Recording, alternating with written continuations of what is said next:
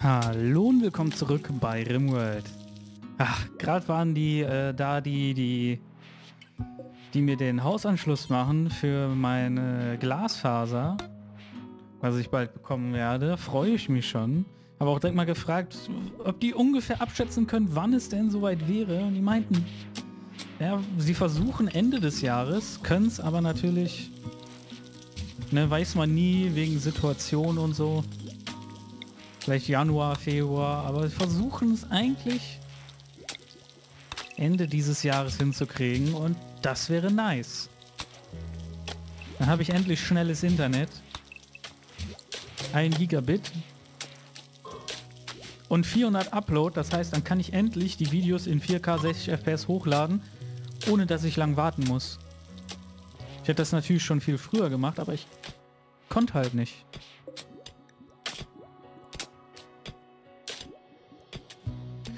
Was macht jetzt eigentlich Jo die ganze Zeit, dass der keine Sachen schmelzen tut?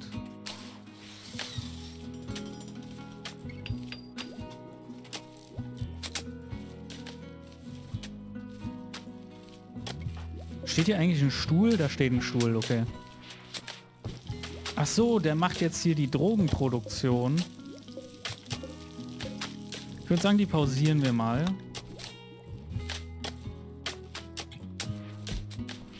Weil wir brauchen nämlich Stahl. Okay, dann macht er Hanf. Verstehe. Ich will doch eigentlich nur, dass er schmelzen tut. Nun gut. Fangen wir mal an mit den Kommentaren. Fangen wir bei Pascal an. Weiter so. Ja, kein Problem, mache ich gerne. So, Go mehr tragen und wollte fragen, wie hoch ist Bergbau? Oder Bruch? Also Steinbruch und Bergbau ist dasselbe. Dein Bergbau ist auf 3. Also ultra schlecht. Aber gut, das war auch abzusehen, weil du nichts drauf hast. So, und du willst mehr tragen. Also ich meine, im Moment kannst du nichts tragen, außer das hier rein, ne? Und wenn ich mir dich so angucke, hat das auch deine Priorität. Also du wirst tragen die ganze Zeit. Außer wenn du verletzt bist. Aber du bist ja die ganze Zeit am Tragen.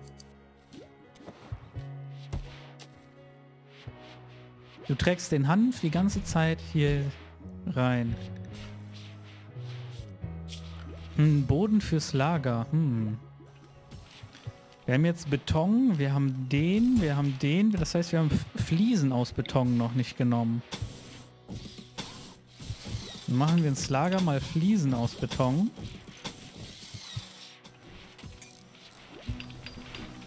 Ah, endlich gibt es wieder Stahl. Dann kann Pascal auch mehr äh, Schlacke tragen.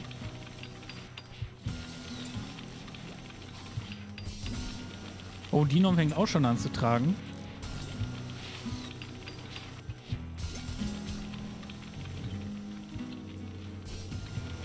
Gut, machen wir weiter im Text. Jetzt kommen nur noch äh, Jo-Kommentare.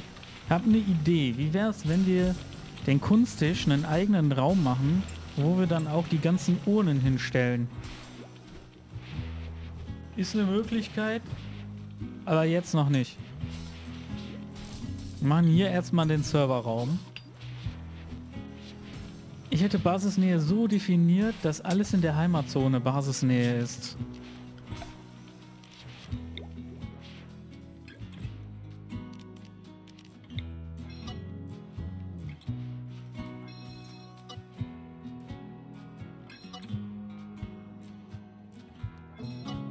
Zum... Ach so, die Urnen. Das ist überall da, wo ich die Urnen geklaut habe.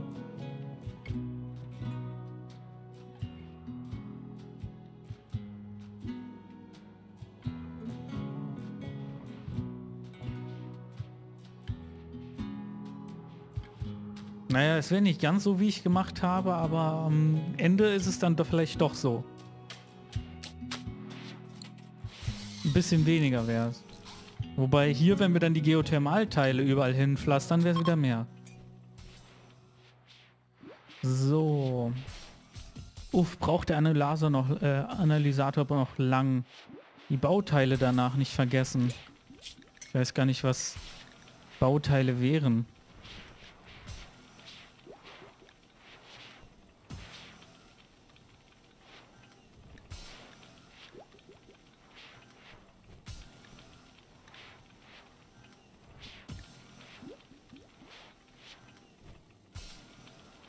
Den hätte ich viel früher reinnehmen müssen.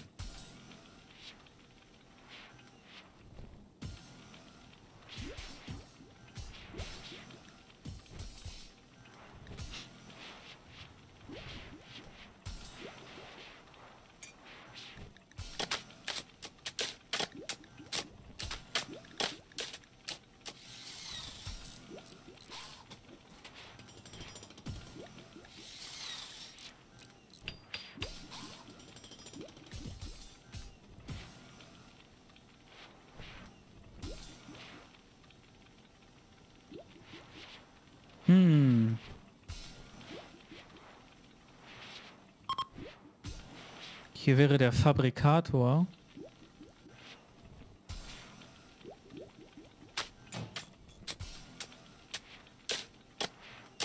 Ja gut, brauchen wir wahrscheinlich, bevor ich das erst forschen kann, wirklich den Multi-Analysator.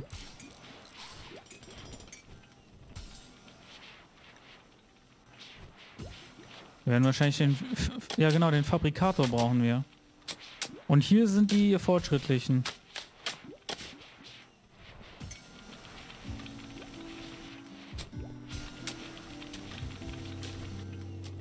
Sieh mal einer an. Jetzt sieht man das was besser.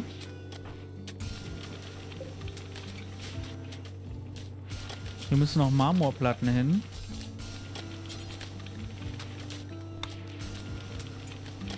Und zwar da und da. Hm, wo muss er denn hier hin? Hier muss auch einer hin.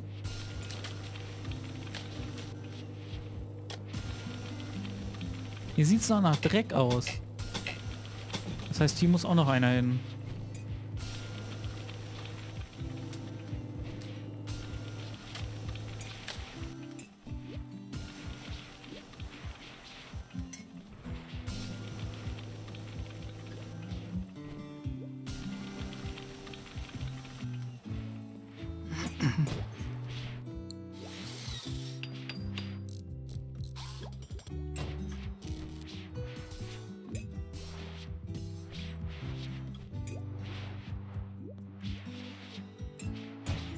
Glaube, der Boden wäre besser hier drin als der hier. Wobei den könnte man auch super nach draußen setzen, ne? Wäre eine Alternative, dann hätten wir einen Stahlboden für draußen. Der ist so unterschiedlich, aber der ist schon relativ ähnlich hierzu.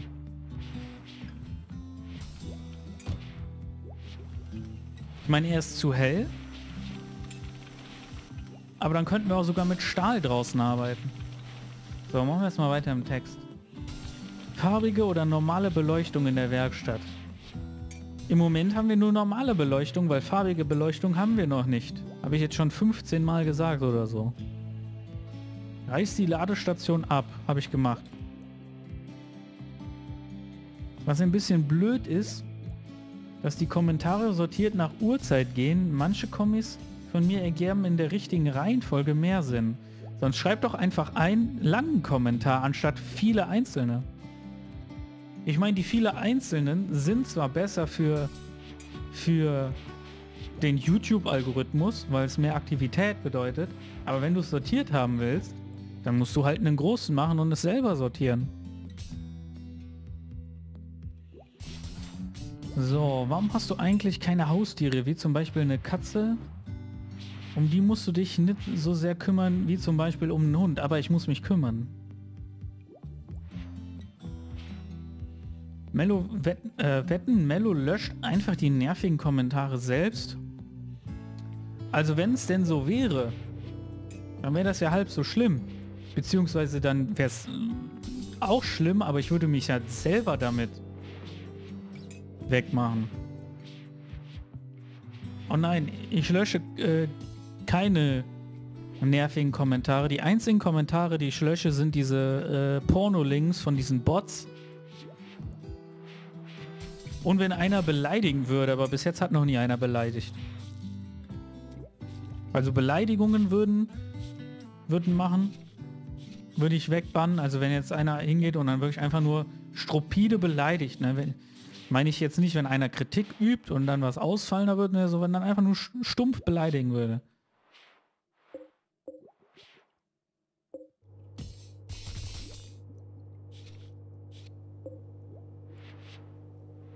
Hast du aber voll daneben gehauen, Jo, ne? Ich Jo ist nicht zum Tragen gemacht. Wieso tragt du denn jetzt tragen? Müssen mal die Bergbauleute dafür machen, dass die eher in den Steinbruch gehen.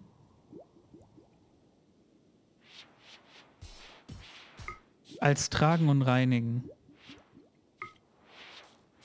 Damit der Steinbruch mal ein bisschen vorwärts kommt.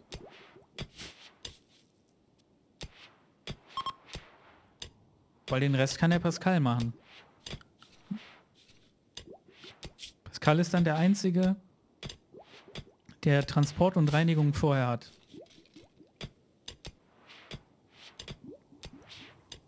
Okay, da sind immer noch Mikroruckler.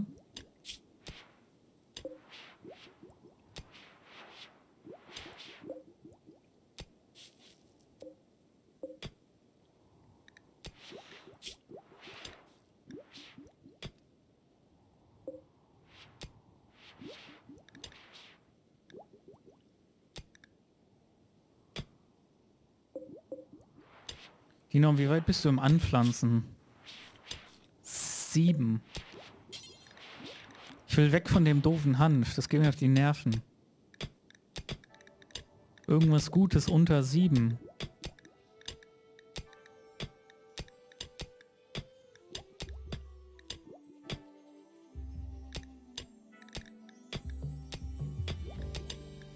Aber für die Ressourcen brauchen wir so viel. 8 wäre gut, dann könnten wir zumindest Stahl anbauen.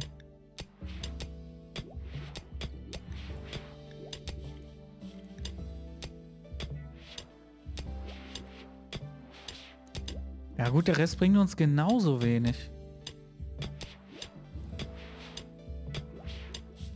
Ich meine, den Hanf können wir wenigstens für Kleidung nutzen oder dann für die Joints.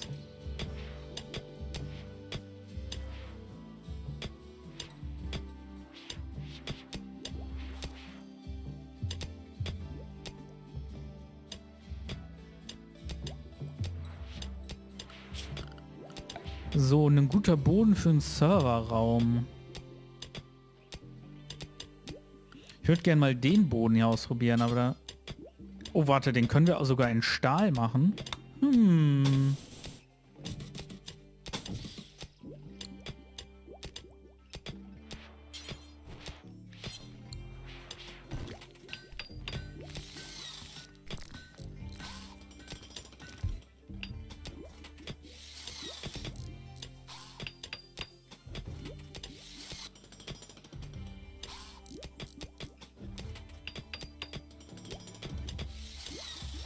Das sieht voll interessant aus mit den beiden ineinander. Weil hier geht es halt hier so runter, ne? Und dann sieht man nur dieses eine Teil vom Schmelzofen. Hier fehlt ein Stuhl.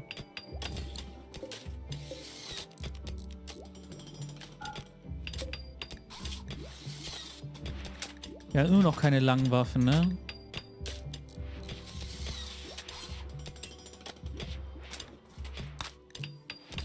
Wobei das sieht mehr aus wie ein Badezimmer.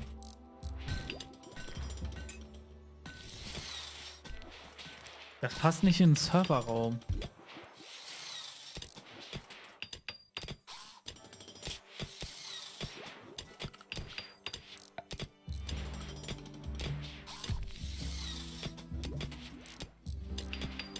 Aber was würde eher in den Serverraum passen? Hm.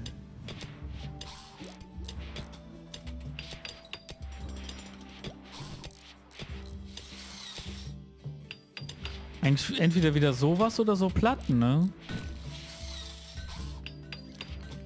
Aber das sieht eher aus wie echt wie so ein Badezimmer. Das sieht echt aus wie ein Badezimmer. Das machen wir wieder weg. Hm. Wir können mal den hier nehmen. Das Problem ist, aus welchem Stein? Das Kalk. Serverräume sind eher dunkel, ne?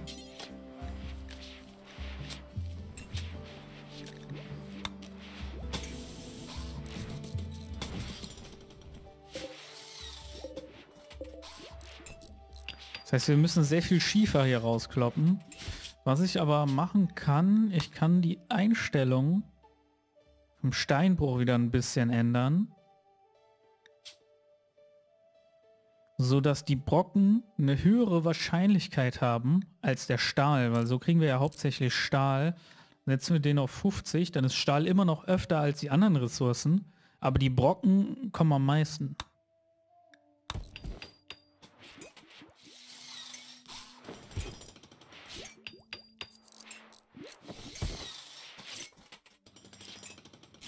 Finde ich eigentlich fair und genug Stahl haben wir sowieso. Wir müssen nur Bauteile. Wir können da drin ja Bauteile bekommen. Da müssen wir jetzt wieder drauf achten, weil sonst, wenn hier das Teil kaputt geht... Mm,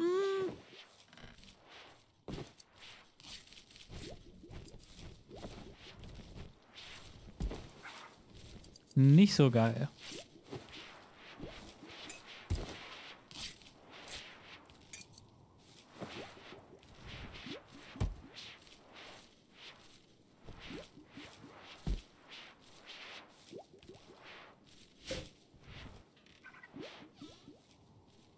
Noch gar kein Licht im Lager.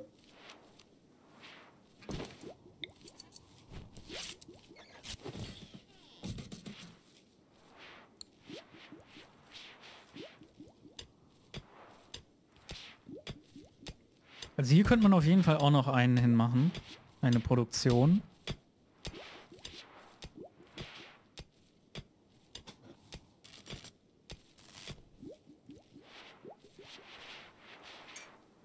Wo haben wir denn das Holz her?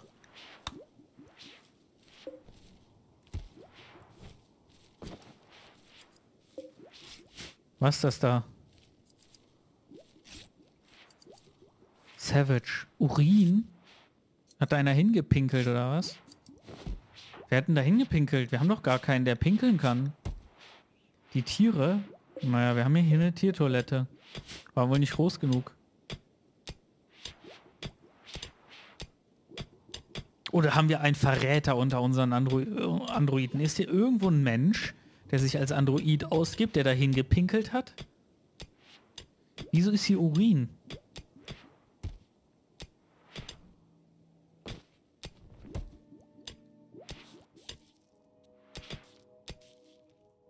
Auf jeden Fall hat derjenige seine Spuren nicht verwischt.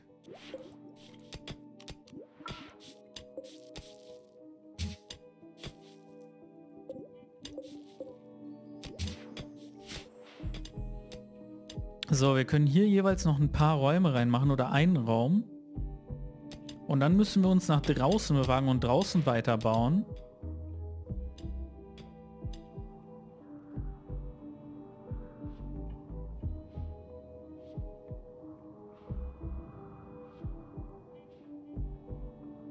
Also ich überlege gerade, wenn wir hier, können wir auf jeden Fall noch die Bauteilproduktion irgendwo reinsetzen.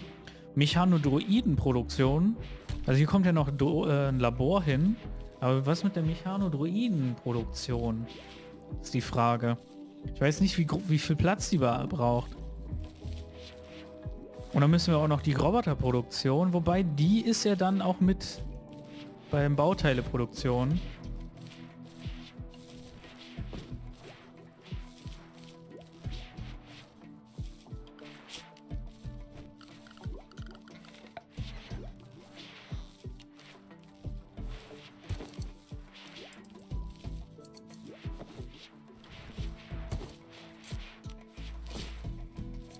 Okay, die kosten tatsächlich mehr. Also sollten sie auch besser sein. Tun sie ja auch. 100 Punkte, 300 Punkte.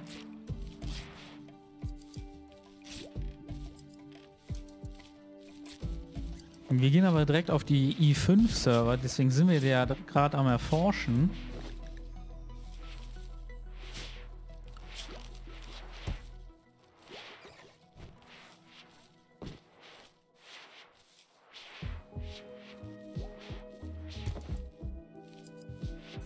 Ich habe nur noch keine Ahnung, wie das mit den Servern funktioniert. Das ist halt auch neu für mich.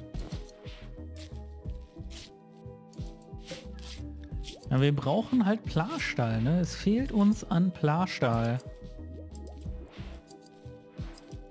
Problem ist, dass es auch zu viel zu tun gibt, andere Dinge, dass keiner in Steinbruch geht. Zum Beispiel, was macht Micha den ganzen Tag? Er glättet die Wände. Wieso glättet er die Wände? So, weil er bauen vorher hat. Jetzt geht er in Steinbruch.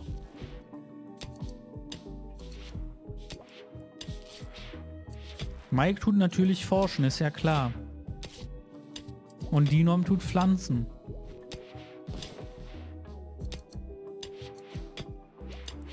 Aber solange wir jetzt keine Bauaufträge haben oder Bergbauaufträge, müsste Micha die ganze Zeit im Steinbruch sein.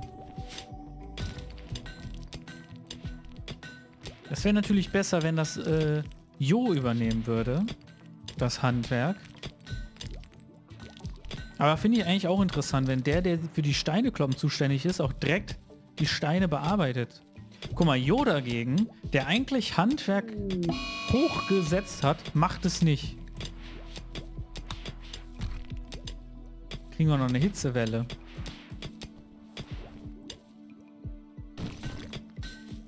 Ah, jetzt macht es Jo. Mich hat ein Misserfolg, kann ich mir gar nicht vorstellen. Der ist so gut im Bergbau.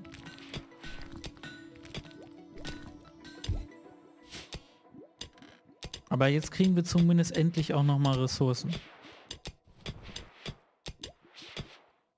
Die Pascal dann schön einsortiert.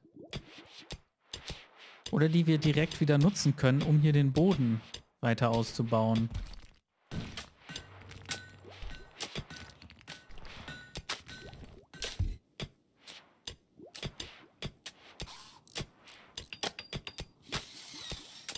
Nun gut, ich würde sagen, das war's dann für diese Folge. Oh, haben wir Planstall bekommen?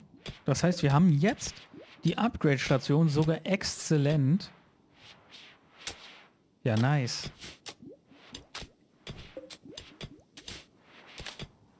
Aber gut, das war's für diese Folge. Wir sehen uns in der nächsten Folge wieder. Sehr gut. Also bis dann.